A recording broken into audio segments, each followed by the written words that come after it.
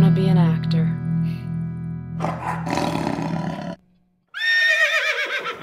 Hey there. My name's Erin, and I'm here to help.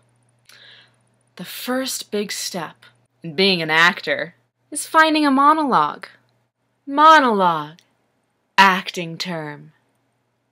So let's say you've got that big community theater audition coming up.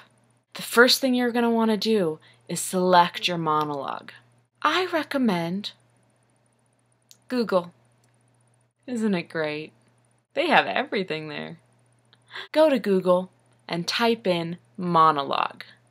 Just monologue. Don't type in define monologue, because then you'll get the definition. And who needs that? We're actors. So once you get your monologue typed into Google, you're going to get a bunch of little links popping up.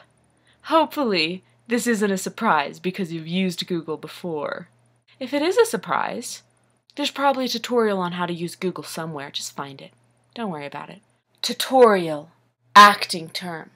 So once you got them there links popping up, go ahead and click on one. Hopefully, there'll be some monologues at the end of the link.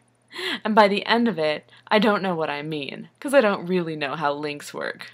Better go find that tutorial. I think it's time for me to give you some tips. Tip number one. I like monologues that tell a story. And by that, I mean monologues in which the person you're talking to is of absolutely no significance. Here's an example. I remember when Paul died. It was autumn, and the leaves were turning colors, and they were so beautiful, and he was so beautiful in his tuxedo at the grave and in the funeral home. Everywhere he went in that little tuxedo, he was just so pretty. Every Christmas, I bring a new tuxedo to his grave. And the next morning, it's just gone. It's gone. He must be so happy. You know what I love about that? Who cares who you're talking to? They obviously don't even need to be there. And really, the only thing that would make sense for that monologue, which I made up by the way, copyright, is that you're talking to a tuxedo salesman. Tip number two. So you've selected your monologue, and now you're in the room. You're want to say the monologue so that the auditors can hear it and cast you in the community play. Auditor. Acting term. Whoa! Hold up! Before that monologue, say your name. They want to know who you are. Here's an example of what we call in the industry an acting slate. Hi, my name is Erin. This is My Dad's Dead in a Tuxedo by Erin. Good job, kiddo. You got that audition in the bag. Next. After you pick your spot, or spots, acting go ahead and pick an auditor. Any auditor. And stare that motherfucker down. They'll like it, and they'll cast you in their play or film, whatever. You, you probably won't be asked to do a monologue for film.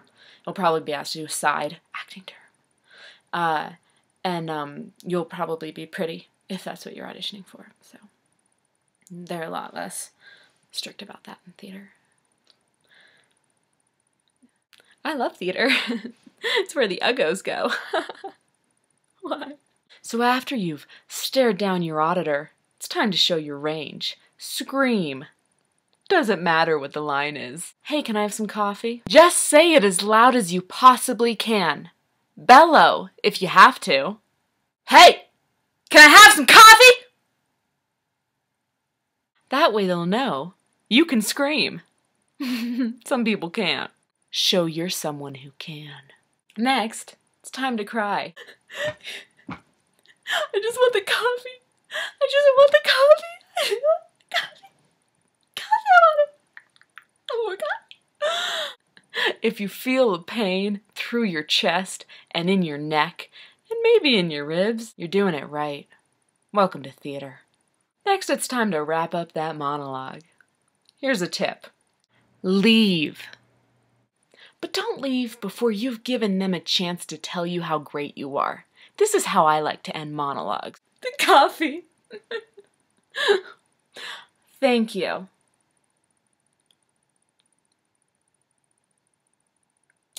Thank you. Did you like it? Where are you looking? What'd you write down? Can I see it? Oh, I like your handwriting. Well, that's pretty. Is that a Is that a picture of a dog? I am so excited for your theater career to begin. Please, feel free to leave comments about the effectiveness of this tutorial. Break a leg, you little thespian. Thespian. Theater term.